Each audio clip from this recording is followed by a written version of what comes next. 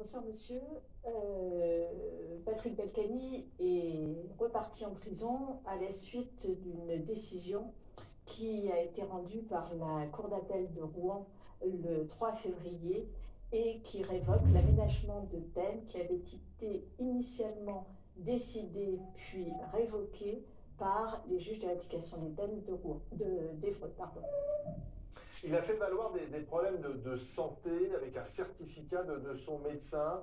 Euh, vous n'en avez pas tenu compte?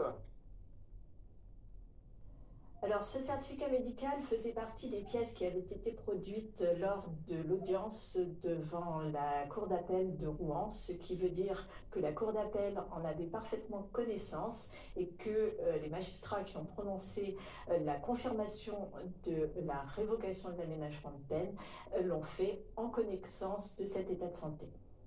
Mais ça veut dire que Patrick Balkany est un danger pour la société et qu'il doit être derrière les barreaux? Ça veut dire que Patrick Balkany, comme tout euh, délinquant, doit exécuter sa peine. Diriez-vous qu'ils se sont euh, moqués de la justice ou qu'ils ont bafoué euh, la justice?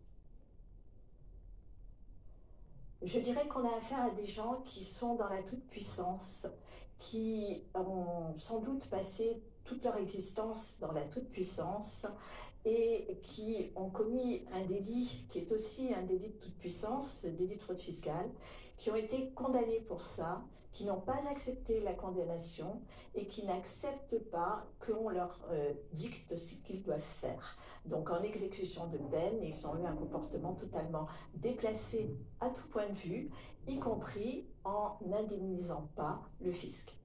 C'est-à-dire que, effectivement, quand vous dites de comportement inadmissible, c'est pas seulement lié au bracelet électronique c'est un ensemble, euh, c'est-à-dire qu'effectivement, il y a des problèmes de sonnerie intempestive du bracelet euh, électronique, mais il y a aussi des demandes d'élargissement euh, des horaires non justifiées, il y a aussi des insultes à l'encontre des conseillers d'insertion et de probation, un comportement inadmissible vis-à-vis -vis des juges de l'application des peines, et puis ce cette absence totale d'efforts pour régler la dette fiscale. alors ils doivent, euh, euh, l'ancien maire de Levallois, Perret et son épouse, 5,3 millions d'euros au fisc, une somme euh, énorme. ils ont les, revenus nécessaires pour, pour rembourser cette somme au fisc ils ont des revenus tout à fait confortables qui pouvaient leur permettre de faire un effort s'ils l'avaient souhaité. Mais ils ont commencé quand même à rembourser Oh, je crois qu'on a des versements qui, additionnés, doivent être de 2000 euros. Ah oui, sur 5,3 millions d'euros, oui, il y avait un petit effort à, faire. Mais euh, Madame la procureure, que répondez-vous à ceux qui disent euh, Patrick Balkany est un homme âgé, peut-être malade, euh, il n'a rien à faire en prison, il n'est pas un danger pour les autres Ce que je vous ai dit tout à l'heure, c'est-à-dire que M. Balkany, comme son épouse, ont été euh, condamnés pour des faits qui euh, ont été commis entre 2009 et 2015. Euh, ils ont usé des voies de recours, ce qui évidemment a rallongé la procédure.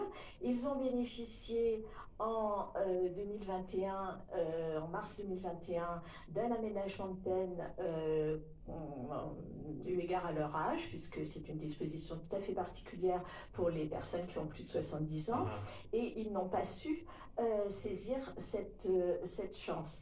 Euh, il y en a peut-être qui disent qu'ils sont trop âgés pour aller en prison, mais je me demande ce que pourraient penser d'autres contribuables qui ont détourné des sommes bien moindres et qui, eux, sont en prison. Et l'avocat de Patrick Balkany estime que par rapport à la santé Fleury-Mérogis, ce sont des conditions plus dures pour son client et qui peuvent aussi mettre euh, de nouveau en danger sa santé. Que répondez-vous? Alors sur le choix de l'établissement pénitentiaire, c'est la direction de l'administration pénitentiaire qui euh, m'a indiqué que euh, l'établissement le plus approprié était le centre pénitentiaire de Fleury-Mérogis pour plusieurs raisons. Il comporte un quartier réservé, comme la santé d'ailleurs, et il comporte aussi un plateau médical 24 heures sur 24. Donc ce sont des éléments qui sont importants et qui peuvent assurer une détention dans des conditions tout à fait correctes pour M. Balkany. Avez-vous fixé un, rendez-vous avec Isabelle Balkany?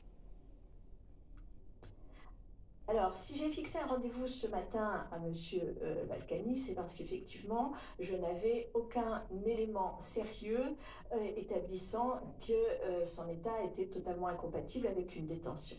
S'agissant de Madame, elle a fait jeudi une tentative de suicide qui s'est euh, suivi d'une hospitalisation et euh, qui, hospitalisation qui euh, se prolonge actuellement. Pour tant qu'elle est dans un établissement de santé et que son état de santé ne paraît pas compatible avec la détention, je ne m'occuperai pas d'elle, mais bien évidemment, reste en ce qui la concerne également une peine à purger. Mais euh, Madame Pécheval, vous avez l'air de douter de la véracité de la tentative de suicide. Je n'aime pas tellement euh, que l'on fasse tout devant les caméras. C'est-à-dire? C'est-à-dire que euh, la tentative de suicide, elle a commencé par euh, un tweet, elle a commencé par une médiatisation, et on peut se poser, on peut se poser des questions. Que Madame Balkany euh, n'ait pas du tout envie d'aller en détention, c'est une chose, on peut le comprendre, et c'est personne n'a envie d'aller en détention, et je dirais heureusement parce que l'un des effets de la prison, c'est aussi d'être dissuasif. Mais à un moment donné, je redis ce que je vous ai dit euh, en ce qui concerne son mari. Euh, on a proposé et ils ont accepté du bout des lèvres un aménagement de peine. Ils ont complètement occulté l'un comme l'autre que c'était cet aménagement ou une cellule. Hum. C'est-à-dire que euh, essayer d'interpeller l'opinion publique via les médias, c'est pas la bonne méthode pour euh, peut-être obtenir euh, un aménagement de peine ou en tout cas pouvoir, euh, auprès de la justice, négocier quelque chose, si j'ai bien compris. Bah, un, aménagement de, un aménagement de peine, si vous voulez, c'est encadré. Donc déjà, nous avons des personnes qui sont condamnées à une peine qui est largement supérieure au euh, maximum des possibilités d'aménagement. Il y a cette disposition tout à fait particulière qui concerne les personnes de plus de 70 ans, c'est ça qu'on leur a appliqué. Mais il n'en reste pas moins qu'on leur demandait quand même de respecter euh, les horaires euh, et les jours de sortie, de justifier d'un minimum de leur rendez-vous supplémentaire qu'ils voulaient avoir à l'extérieur, de ne pas considérer que toutes leurs demandes devaient être acquises. Ça, c'est un point. On leur demandait aussi, il me semble pas que c'était quand même extraordinaire, d'être poli et courtois avec les conseillers d'insertion et de probation, mmh. euh, qu'ils ont beaucoup, beaucoup embêté, si je puis dire. De quelle manière On bien, pardon Madame la procureure, mais de quelle manière justement vis-à-vis des conseillers de probation Quels sont les exemples que vous, pouvez nous Ah ben c'est euh, euh, des, du, du, harcèlement quasiment permanent.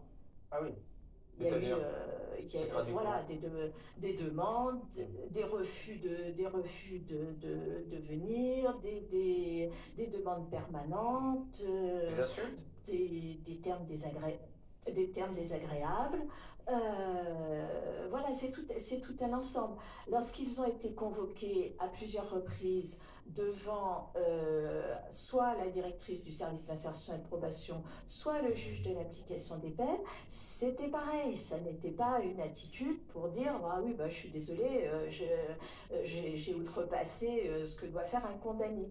Monsieur et Madame Balkany n'ont pas intégré et ne l'ont fait à aucun moment le fait qu'ils ont été condamnés et je radote, mais euh, qu'il faut qu'ils purgent leur peine d'une manière ou d'une autre. Donc on a essayé de leur faire purger dans le cadre d'un aménagement de façon à ce que ce soit le plus le mieux possible pour eux.